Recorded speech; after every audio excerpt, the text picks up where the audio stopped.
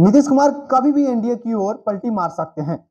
लेकिन ये जितना आसान लग रहा है, उतना आसान है नहीं। नीतीश को रोकने के लिए लालू प्रसाद यादव ने भी अपनी तैयारी कर रखी है, इसलिए चाहते हुए भी नीतीश कुमार ऐसा कर नहीं पा रहे हैं। शायद इसीलिए उनकी खींच रह रह कर बाहर आ रही है। पूरी खबर बताएँगे। इससे पहले मेरा नाम समीर हाशमी है और आप देखना शुरू कर दिए हैं बिहार न्यूज़ प्लस। देखिए, बिहार में कड़ाके की ठंड के बीच राजनीतिक पारा गर्म हो गया है। सियासी हलचल इतनी तेज है कि राजनीतिक विश्लेषज्ञ भी यह अंदाज़ा नहीं लगा पा रहे हैं कि आखिर नीतीश के मन में क्या चल रहा है। अभी तक ये तय माना जा रहा था कि नीतीश कुमार कभी भी एनडीए की ओर पलटी मार सकते हैं, लेकिन ये जितना आसान लग रहा है, उतना आसान है नहीं। नीतीश को रोकने के लिए लालू प्रसाद यादव ने भी अपनी तैयारी कर रखी है।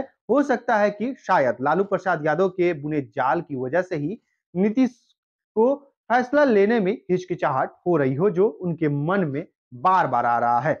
नीतीश कुमार ने पिछले दिनों जदयू की कमान अपने हाथ में ले ली थी। इसके बाद से ही राजनीतिक गलियारों में इस बात को लेकर चर्चा शुरू हो गया था कि आखिर नीतीश कुमार करना क्या चाहते हैं। ललन सिंह के राष्ट्रीय अध्यक्ष पद से हटने के बाद लालू प्रसाद यादव भी सतर्क हो गए थे, क्योंकि आरजेडी और जदयू के बीच की कड़ी ललन सिंह ही थे।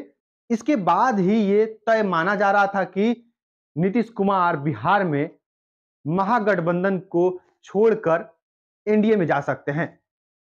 नीतीश कुमार चाहते हुए भी ऐसा कर नहीं पा रहे हैं, शायद इसीलिए नीतीश कुमार की खींच रह रहकर बाहर आ रही है। जदयू की राष्ट्रीय कार्यकारिणी के बाद से बिहार में हर पल बदल रहे सियासी समीकरण। इस बात का संकेत दे रहा है कि जदयू और आरजेडी में सब कुछ ठीक नहीं है।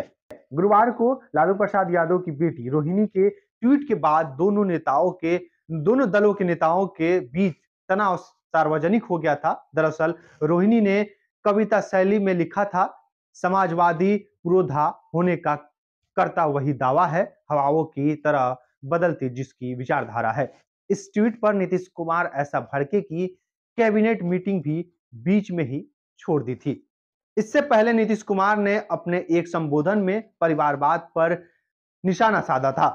माना जा रहा था कि उनका सीधा इशारा आरजेडी की तरफ़ था। आपका क्या मानना है? कमेंट में ज़रूर हमें साझा करें। बहुत बहुत धन्यवाद।